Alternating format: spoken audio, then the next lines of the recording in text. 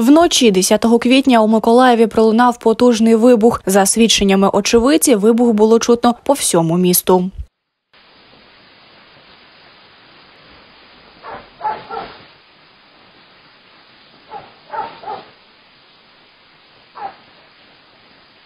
Як повідомив голова Миколаївської обласної військової адміністрації Віталій Кім, удари припали на ангари катарського підприємства. Постраждала одна людина, загиблих немає. Після вибуху зробили заміри повітря на наявність небезпечних речовин, у тому числі і радіаційних часток. Станом на ранок 11 квітня небезпечних речовин у повітрі не виявили. Русские оккупанты напали на предприятие из Катара на территории нашей области.